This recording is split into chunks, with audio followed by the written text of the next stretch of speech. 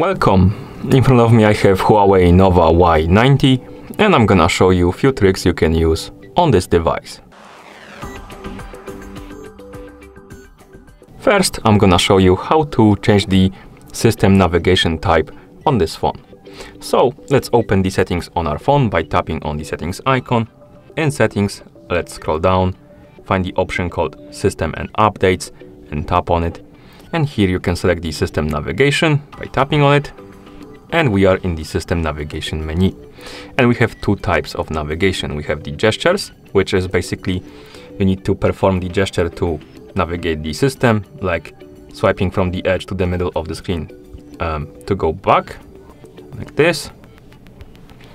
If you want to open the recent tasks, you need to swipe up from the bottom of the screen and hold on the screen for a second or two, like this. And if you want to go to the home screen, you need to swipe up from the bottom of the screen, like this. If you don't like the gestures, you can always use the free key navigation. So if you select this option, it will bring this uh, navigation bar at the bottom of the screen. And here you have buttons like recent tasks, home screen or home button, and the back button. And you can also customize the free key navigation by tapping on the settings right here. And you have different order of buttons. So for example, the back button goes to the right side, the uh, recent tasks button go to the left side. You have also the options with one more additional button and this button allows you to open the uh, notification panel quickly by tapping on it. You can also enable the option to hide the navigation bar and you can then tap this icon right here to hide it and to bring it back you need to swipe up from the bottom of the screen. Okay. Uh, you can also go back to the navigation, system navigation menu, and here we have the more option. And if you tap on it, you can enable the navigation dock. And this allows you to use this weird dot on the screen to navigate the system. You can enable it, the dot will appear, and you can tap on it to go back, like this, press and hold on it, then release it to go to the home screen. And if you want to open the recent tasks, you need to press and hold it, drag to the left or right, release it, to open the recent tasks menu. Okay, I'm gonna disable it, and that's about it when it comes to the navigation. Let's go back to the settings.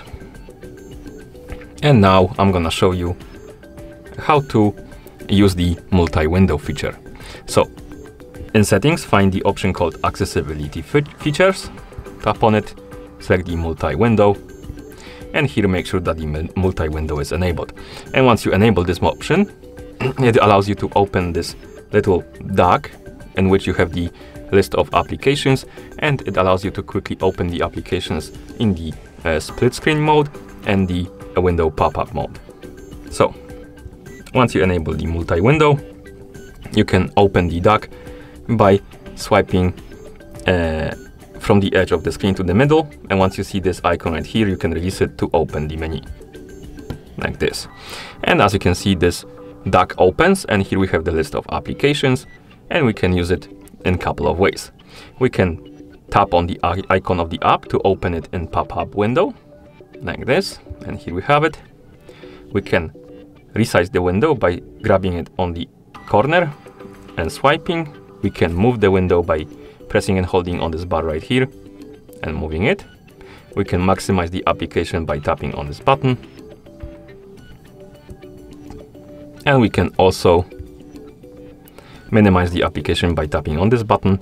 It will move it to this uh, side button. Right? I mean, you will see this icon right here on the side and you can move it around. Uh, you can uh, tap on it to open the app, bring it back. and you can also close the apps by tapping on X and they will disappear completely. Let's open the dock again like this. And now let's say I want to open the apps in split screen. So first I'm gonna open uh, something, maybe gallery. This will open it in pop-up window. Then we can press and hold on the bar and then move it to the top, I believe. No, first we need to maximize it. So let's open one of the apps. Okay, so now let's say we have one app opened. Now we can open the dock quickly. Come on, like this. And let's say I want to open the browser and I have I want to have the gallery and browser uh, on the screen at the same time. So I'm gonna press and hold on the browser icon and now we can move it on the screen and we have options to uh, drop it at the top of the screen and bottom of the screen like this. And once you release it, it will enter the split screen mode like that. And we can uh, change the ratio of the screen by pressing and holding on this bar right here like that. And if you want to exit the split, screen, split screen mode, you can uh, always grab the bar. I believe uh, you can move it somewhere to exit it, but I might be wrong. Oh yeah, you can move it to the side basically to exit the split screen mode. Or you can um, you can grab this bar and drag it to the bottom or the top of the screen, like this. Okay. In the dock, you can also um, basically find more apps. As you can see by default, you have only list of apps right here, couple of them. You can tap on this icon right here to open the whole list. You have search bar, you have the list of icons right here, and you can open different apps in split screen or pop-up window mode. Uh, be aware that some of the apps don't support this feature. So for example, settings uh, won't allow you to open in split screen mode. So if I have these settings opened and I try to open the split screen mode, it won't allow it because the settings don't support it. Okay. Now, let's go back to settings and I want to show you something else. So let's open the accessibility features again in settings. And here we have the option called one-handed mode. And this feature allows you basically to uh, shrink the screen on your phone to make it easier to use your phone with only one hand basically. And if you enable this option and you want to enter the one-handed mode, it depends on the uh, type of navigation you're using on your phone, but if you're using the free, uh, free key navigation, you simply swipe left or right on the uh, recent tasks button to open the one-handed mode like this. So let's say you want to uh, you want the screen to shrink to the right side, you swipe right on the recent tasks button. And if you want to uh, for the screen to shrink to the left side, you swipe left. And once you open the one-handed mode, you can see that the screen got smaller. It's gonna be easier to use with only one hand. And if you want to exit the mode, simply tap on the black area around like this. Okay. Let's go back to the accessibility features. And here we have option called shortcut and gestures. And I want to show you a couple of things here. So let's tap on it. And here we have a couple of features like ultra snapshot, take a screenshot, record screen, wake up screen, and mute slash ringtone, reduce volume. If you tap on ultra snapshot, you can basically set up a shortcut for the uh, volume down button. So if your uh, screen is turned off, you can press the volume down button twice quickly and you can select to take a snapshot. So basically take a picture open the camera up or turn it off. By default, it's gonna be open the camera. So if you turn off the screen, press the uh, volume down button twice, it's gonna open the camera up like this. Okay.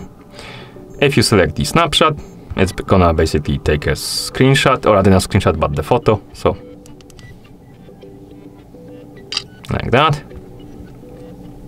And if you of course select off, it's gonna be disabled. Next we have the take a screenshot option and here we can basically enable and disable two features, knuckle screenshots and the three finger screenshot. So uh, by default the features are enabled and they allow you to for example take a screenshot on your phone by knocking on the screen with the knuckle. Like this. And you can enable or disable this option by tapping the switch right here, of course. You can also enable or disable the three finger screenshot. This option allows you to take a screenshot by swiping down on the screen with three fingers, like this. Okay. Let's go back. Next we have record screen and this option allows you to start the screen recording by knocking on the screen with two knuckles. Oh, my bad. Let's try again.